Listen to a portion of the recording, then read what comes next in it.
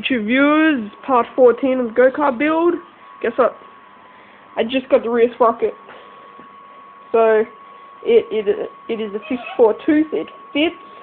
I've given it a little bit of slack, not too much. That looks like a lot of slack, but it's not that much. Um, I haven't put the wheel on properly yet. Just do that now. Okay.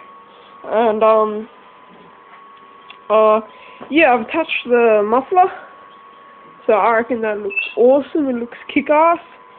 So, from that angle, just imagine that flying down the street. Anyway, um, Brendan V commented on my old video that I need support. So, you know, I'm, I'm just going to trust him, put some support. I'll put some really strong welds around here. It's not that strong, but the it's not that heavy. So I reckon that the welds could hold it, but after thinking of vibrations and going down curbs, I really don't trust that.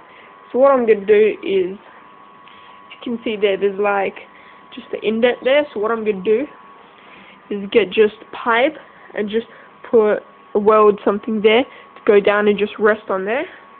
And I'll put like a soft end or something so so it can't really go down. So even if I push down, it's not even going down.